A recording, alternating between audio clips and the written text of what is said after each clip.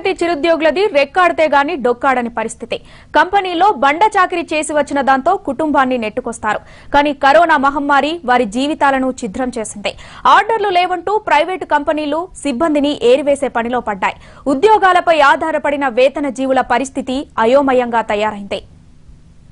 ఆసియాలోనే అతిపెద్ద ఇండస్ట్రియల్ ఏరియాల్లో పటాన్చెరు ఒకటి. వేలాది కుటుంబాలకు ఇక్కడి పరిశ్రమల్లో ఉపాధి దొరుకుతుంది. ఎగుమతులతో పాటు ప్రభుత్వానికి ఆదాయం భారీగా వచ్చేది. కానీ కరోనా కల్లోలం ఇక్కడి ఇండస్ట్రీస్ని కుదిపేసింది.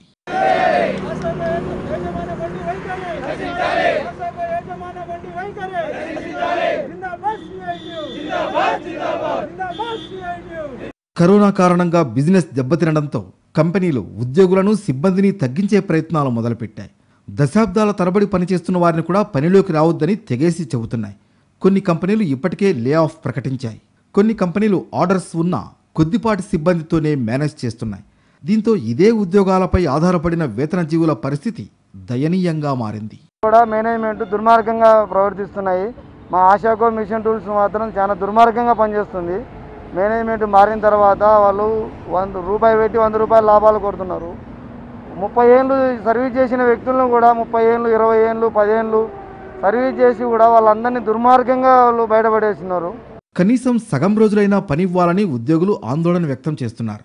ఇప్పటికిప్పుడు పొమ్మంటే ఎక్కడికి పోతామంటూ ఆవేదన వ్యక్తం చేస్తున్నారు. ఆర్డర్స్ లేకుండా కంపెనీలు ఎలా రన్ చేయాలంటూ కంపెనీ యాజమాన్యాలంటున్నాయి. అవసరం ఉన్న వాళ్ళకు మాత్రమే పని ఇవ్వగలమని అందరికీ జీతాలు ఎక్కడి నుంచి తెచ్చివ్వాలంటూ తెగేసి చెబుతున్నాయి.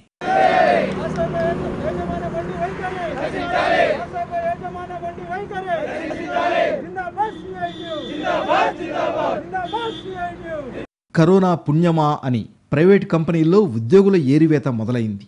ఇటువంటి కష్టకాలంలో కుటుంబాన్ని ఎలా పోషించుకోవాలో తెలియక దిక్కుతోచని స్థితిలో కార్మికులు ఉన్నారు.